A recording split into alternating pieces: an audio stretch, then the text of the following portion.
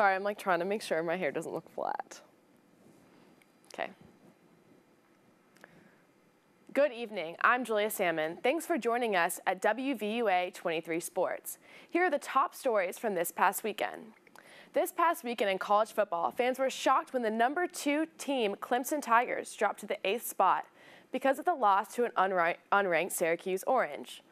Dante Strickland set the tone for the Orange with a first quarter touchdown, a 23-yard pass from Eric Dungey.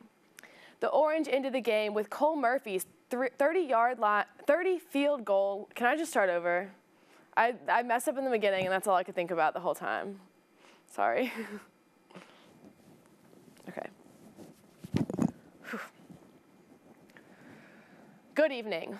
I'm Julia Salmon. Thanks for joining us at WVUA 23 Sports. Here are the top stories from this past weekend. In college football, fans were shocked when the number two Clemson Tigers dropped to the eighth spot because of a loss to the unranked Syracuse Orange. Dante Strickland set the tone for the Orange with a first quarter touchdown from a 23-yard pass from Eric Dungey. The Orange ended the game with Cole Murphy's 30-yard field goal, letting them win 27 to 24. The Tigers are hoping to redeem themselves against the Georgia Tech Jackets at home this Saturday at 7 p.m. The number one team, Alabama Crimson Tide, celebrated homecoming with a knockout win against Arkansas.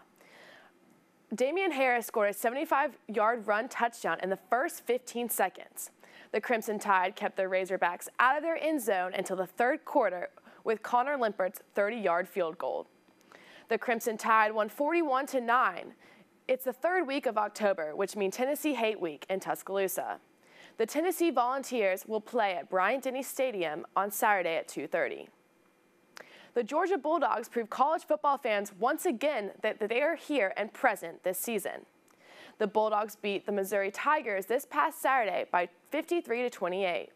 Jack Fromm, the Bulldogs' true freshman, entered the game with 326 yards and two touchdowns. Kirby Smart has taken the Bulldogs from an unranked team to the number three spot this season. The Bulldogs have a bye weekend this week, but will play one of their biggest rivalry, rivalries, the, the Florida Gators, in Jacksonville at 2.30 on the 28th. This weekend, four MLB teams started their road to the World Series. The Los Angeles Dodgers played the Chicago Cubs at home this past weekend. The Dodgers rem remained the, reminded the Cubs that this is not 2016 anymore by clinching the home series. The Dodgers and Cubs will be in Chicago this week for the second part of the series.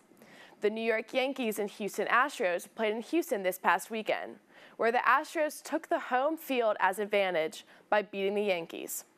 Astros' Justin Verlander made his American League Championship debut Saturday and ended it with a win. This week, the Yankees and Astros will move to New York to continue the series. Thanks for tuning in. Make sure to check back next week for more weekend highlights. I'm Julia Salmon. Have a good night.